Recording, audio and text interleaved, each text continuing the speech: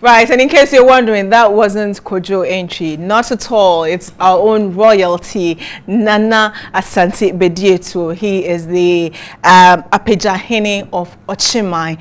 I know him to be a lawyer, uh, but there's a whole lot more to him. And also those pictures you saw were his kids, and the guy is so cute. Good morning, and welcome. Do you get that a lot with your kids? Uh, yeah.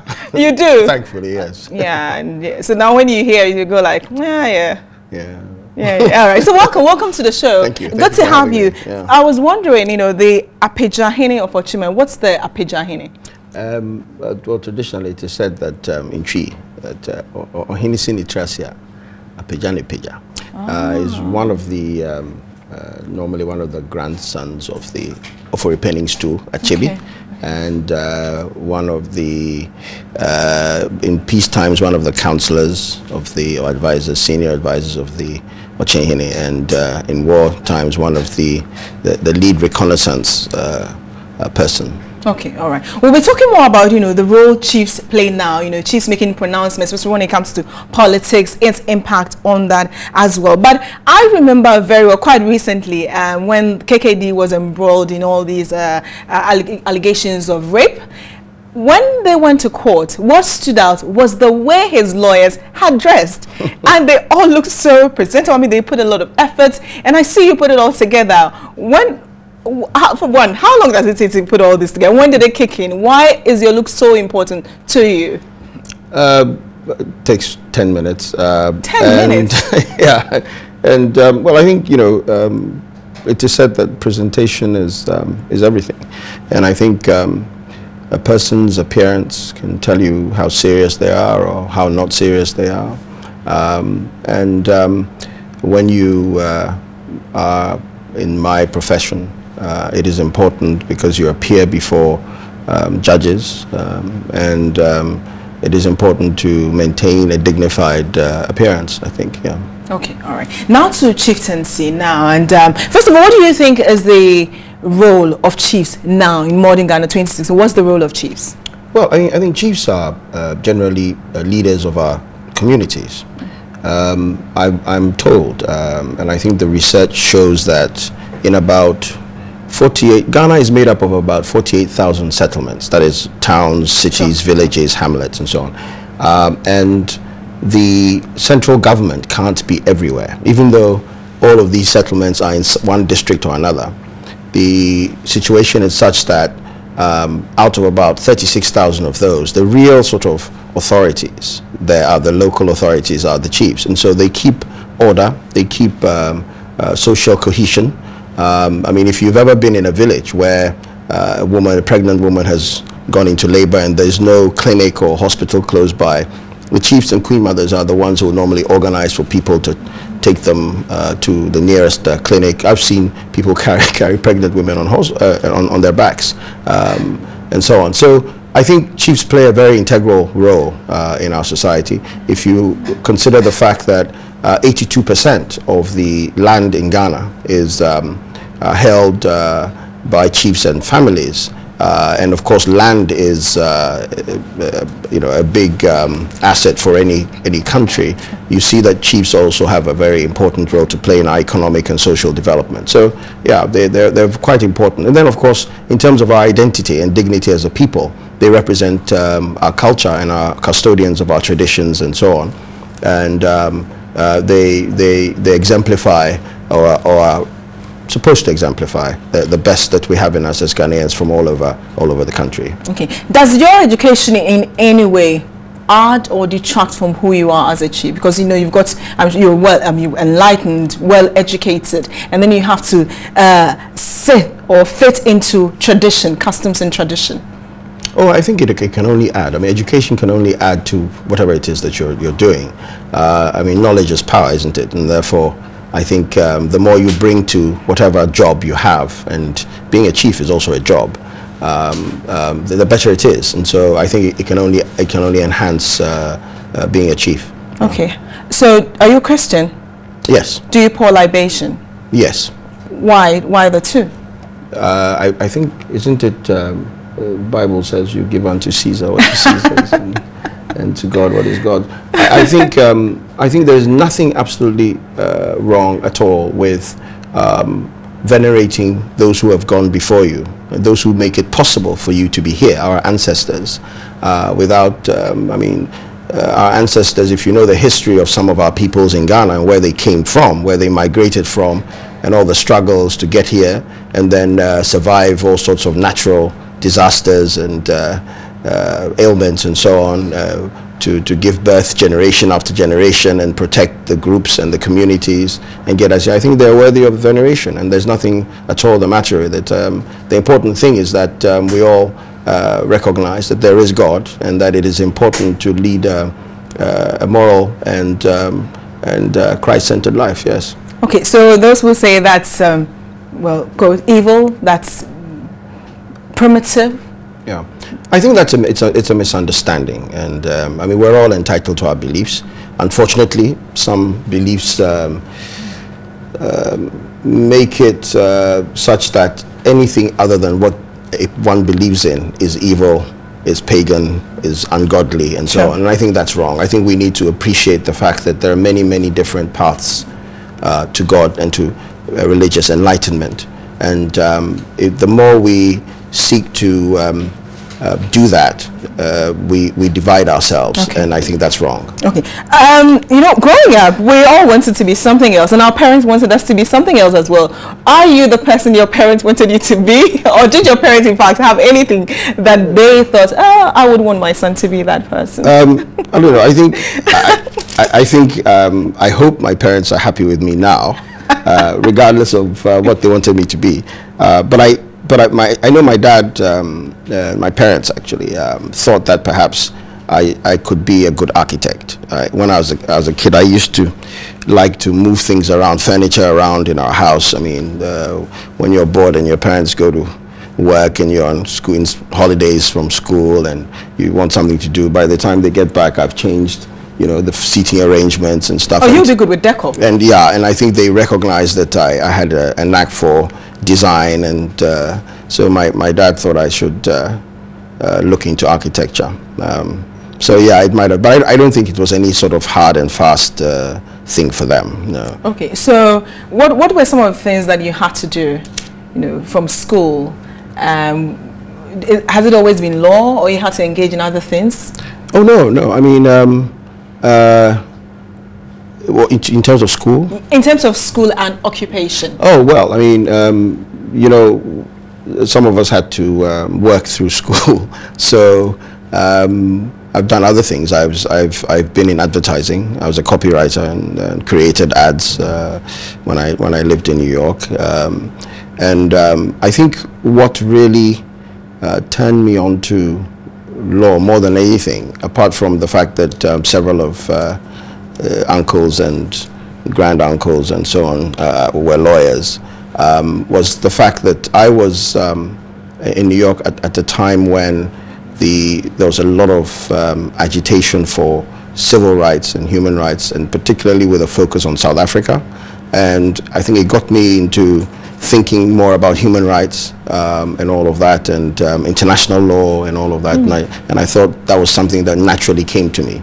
And so um, I, I, I, decided not to do anything else but study uh, study law. But uh, we've, you know, I've done all sorts of things. Uh, like, yeah. I mean, were you doing vacation jobs? You know, oh yeah. You go work with some of the jobs, like me, oh, me, what they call menial job. Yeah, yeah, oh well, I, I, I was I was a supermarket uh, stockist. So I had to go. I had to go to work at midnight and stock the shelves. So in the morning, when you go to buy stuff, it's all there.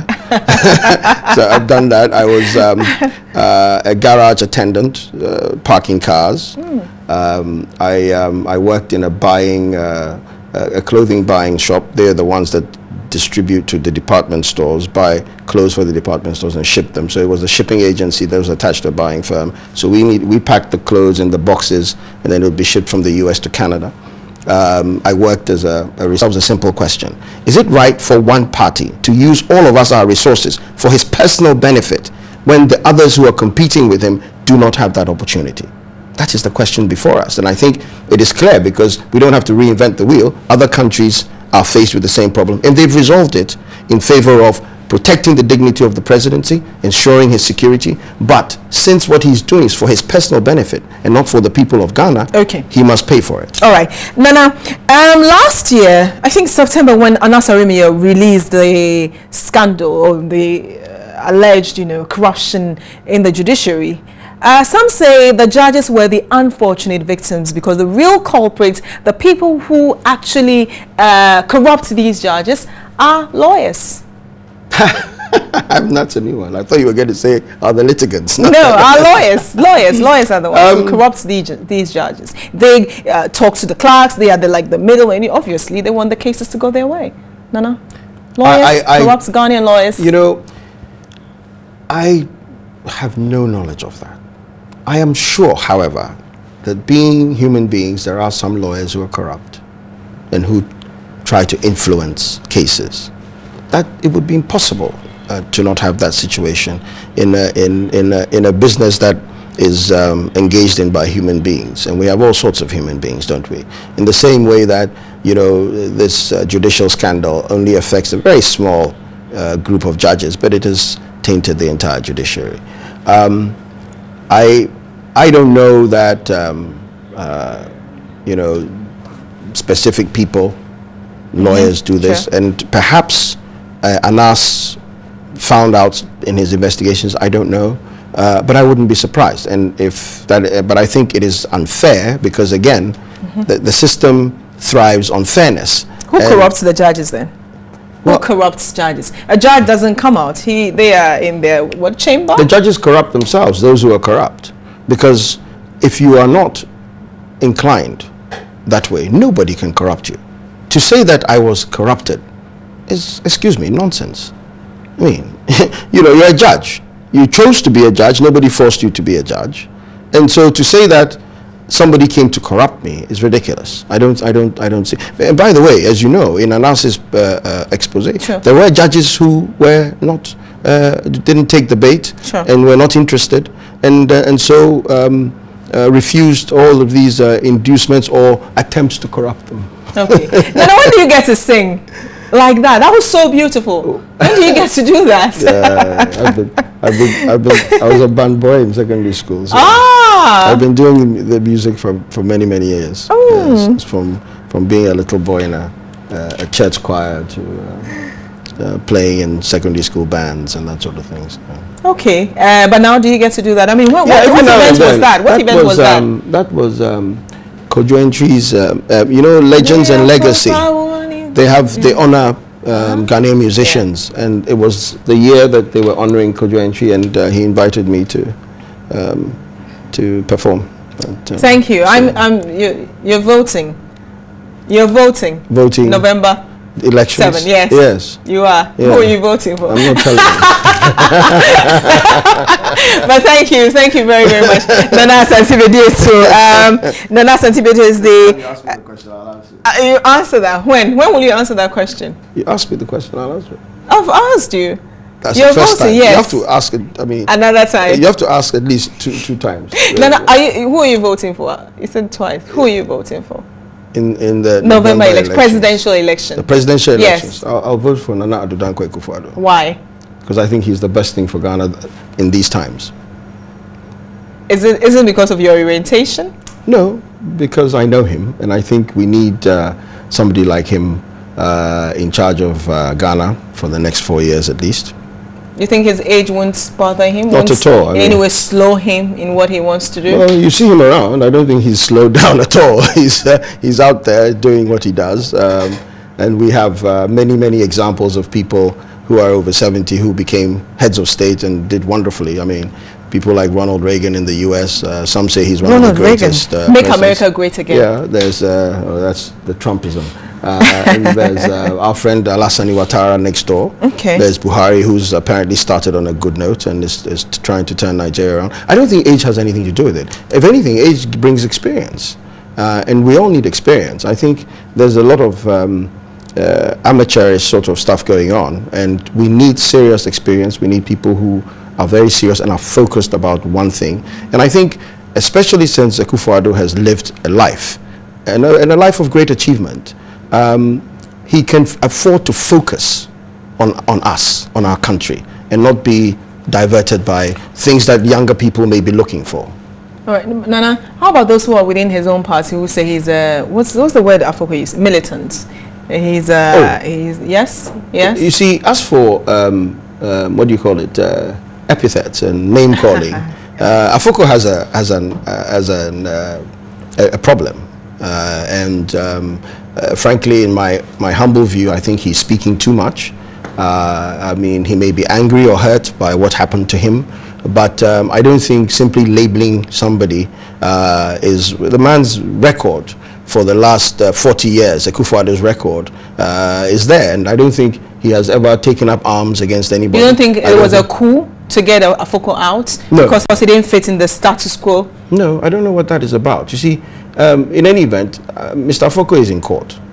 The court will determine whether, his claim is that the NPP did not follow the constitutional process. Yes. That's a matter of law. It's very, very simple. It's a matter of law. And the court will decide whether the processes under the NPP constitution were followed or not. I would have thought that given that he has uh, gone to court, he would simply um, uh, relax and wait to hear what the court says, rather than this being on this campaign, which appears to uh, have only one uh, objective, which is to denigrate the, the party and the flag bearer. And it's very interesting that uh, somebody who wants to be chairman of a political party. He was a chairman. He is a chairman. No, he's not. He's not. He can't be. You can't have two chairpersons. There's an acting chairman. It means that whoever was the substantive chairman is no longer the chairman. Okay. But Nana, um, Paul Afoko, chairman of your party, Dr. Nyaho Tamakloe, Dr. Charles Wereko-Brobby, those are persons with, I mean, who's, uh, who speak, who have authority in their own right and they are all expressing similar views and we shouldn't and take so, them. So they can't be wrong because they have, what did you say, that something in their own right? Yes, authority. Authority in their own, so they can't be wrong. I mean, um, I think we should pay very close attention to what they actually say. Uh, Mr. Dr. Wereko-Brobby has basically denounced the NPP philosophy and ideology. He said he was never really uh, uh, a, liberal conservative. Uh, he's rather a leftist. Um, Dr. Nyaho Tamakloe openly campaigns for uh, the president, uh, Mahama. Um, Mr. Afoko, we've already discussed. I don't think, and then against what? Are they the only people with authority in the NPP? I don't think so. And against almost what? 94% of the people in the grassroots who voted for Akufo-Addo.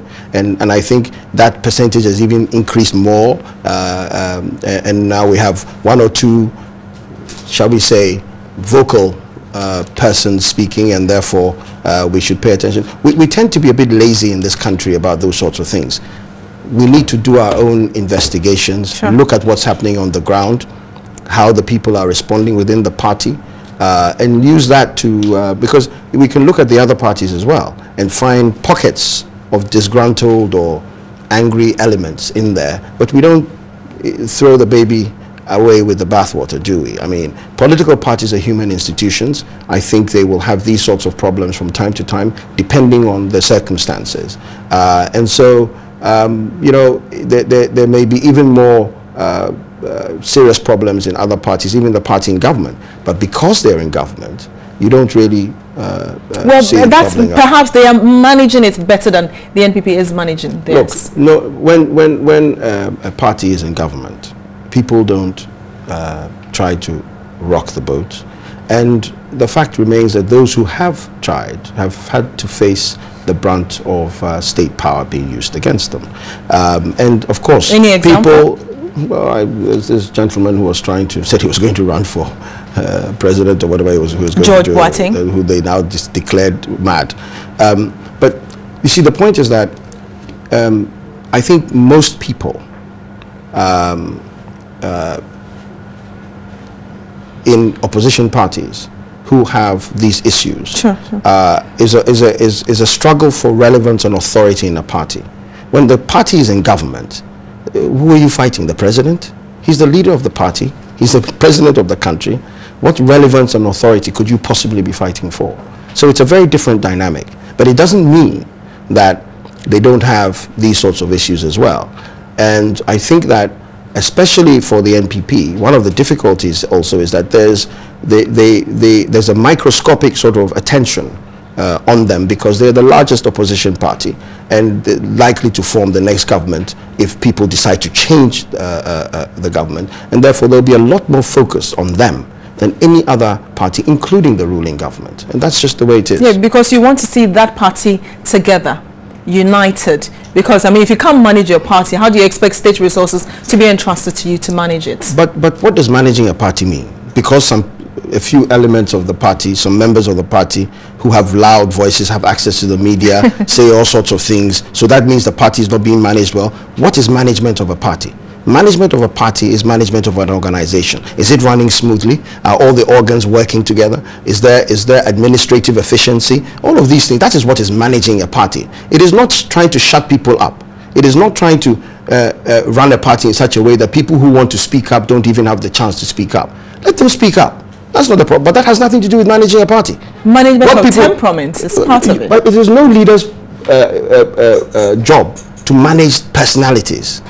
You know, if uh, people should have a right to say what they want to say if they if they if they they say things that harm the organization as a whole the organization has a right to respond that's what democracy is about but this business of um, this leader or that leader can't shut his people up and so he's a bad leader really is that what we want A leader who goes around shutting people up i don't think so. i don't want a leader like that and i wouldn't want a president like that and so i think we're we're, the, the, we're using the wrong um, ideas, you know, it's sort of like we're, we're, we're, we're a solution in search of a problem sort of, sort of situation. We're using the wrong ideas okay. to describe situations. It is not about the management of political parties. Let's be very clear about that. What do you think about uh, Kwabena Agyapong's posturing? I haven't heard any him talk.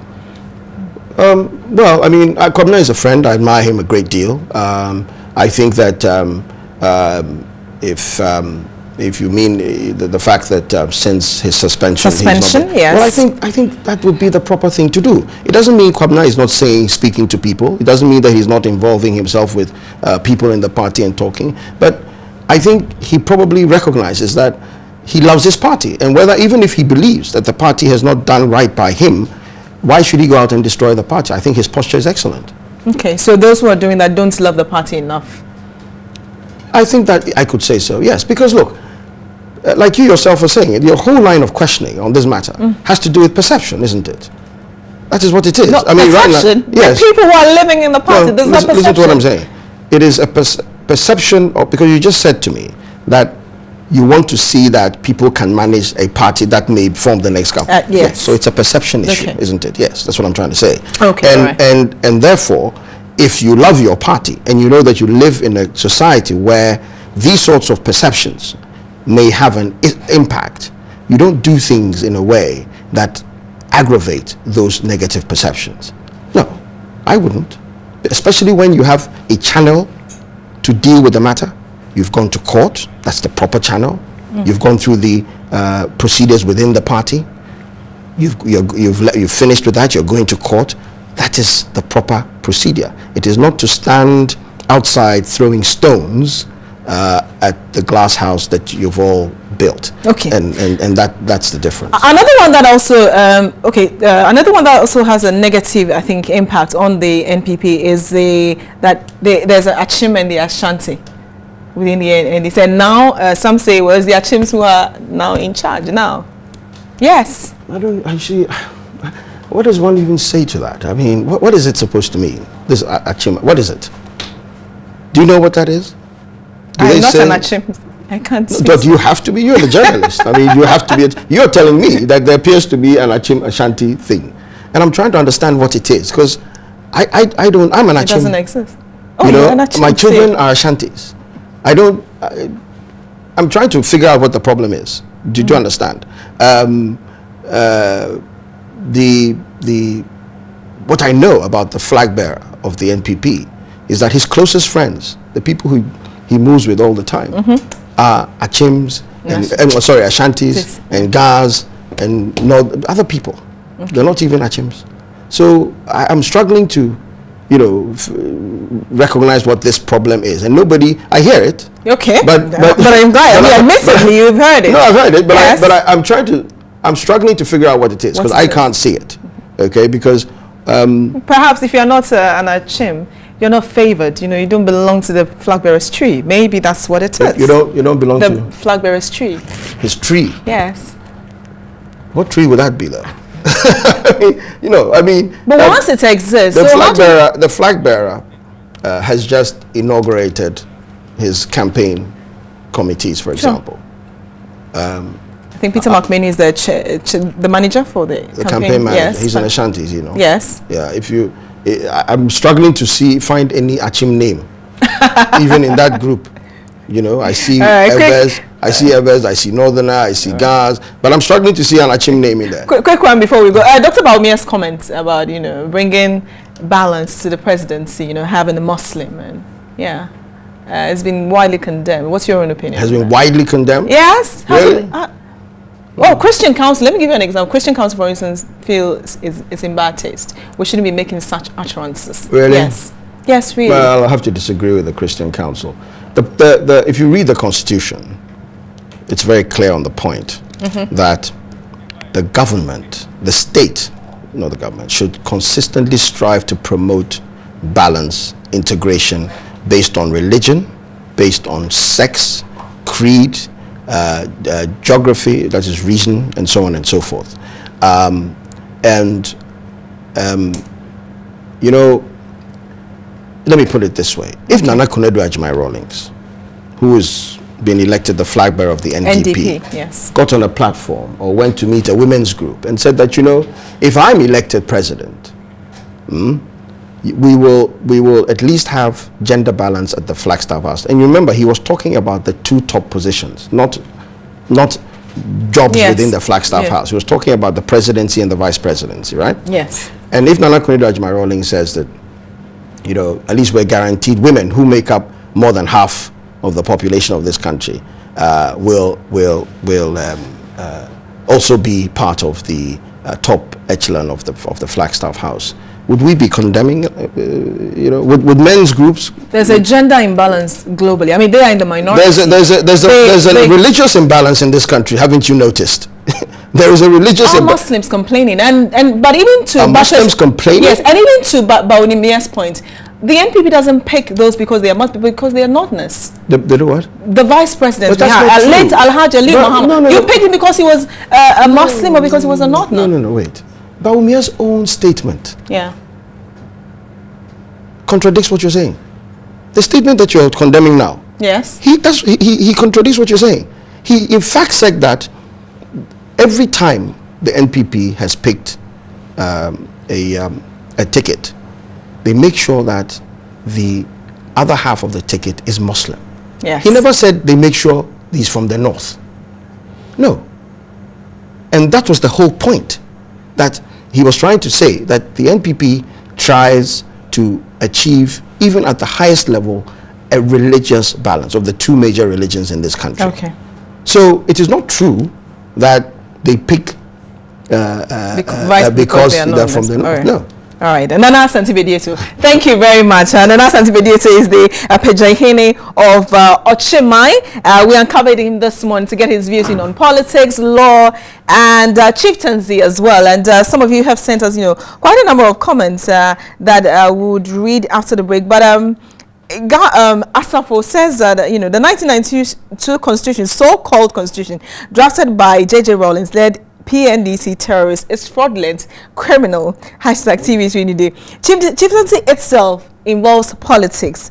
And that's uh, from Nambe Patrick. Nambe Patrick, thank you very much for joining. And uh, how many times must we condemn violence? And that's from um, Bonsi Benjamin. All right, and many others. We'll read them after the break. Nana, thank you so much for Thank joining you. us Thank you this for having me. Um, yes, I'll be. I'll be happy. You know, if you invite me to one of you when you're singing, it, because I'd like to, you know, film that as well. Thank you so much for joining us Thank this you. morning.